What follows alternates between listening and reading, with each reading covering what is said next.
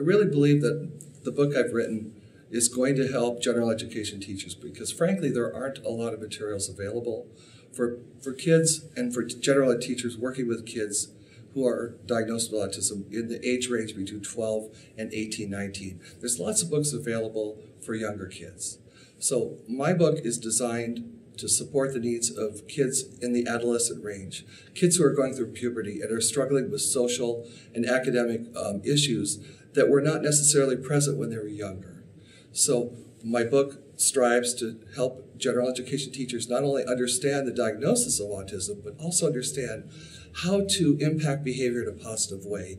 I think the most important strategy to build community, to help the general population of students and teachers understand students with autism is that there is a person behind the label.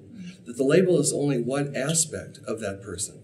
The person has strengths, they have challenges, they have hopes. They have dreams just like everybody else. I think of a boy named Devin who is featured in my book, an excellent artist whose cartoons rival that of some professionals, who became no, you know, noted within our school not as the weird guy with autism, but as a, a gifted artist. And that's the type of connection we're trying to make with, with people in the community that we're talking about people here with talents and strengths, just like everybody else. And autism is there, and we have to account for it and help and support.